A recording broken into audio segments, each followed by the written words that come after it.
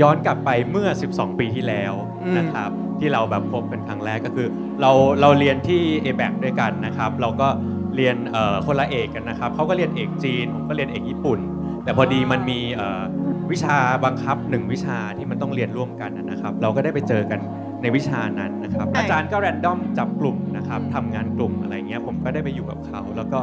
ปิ๊งตั้งแต่แรกเห็นก็คือเขาเป็นผู้หญิง สเปคสวย ผมเลยไอ้ยะ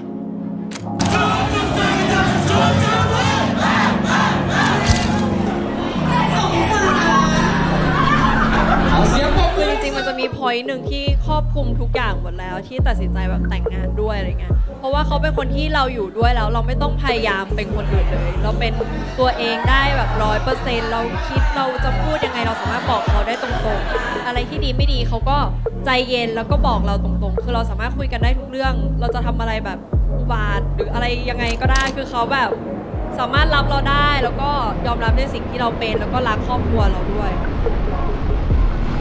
Just slide your way on on. Slide your way on on. Scared to meet my baby. I wanna get to know ya. I wanna get to know ya.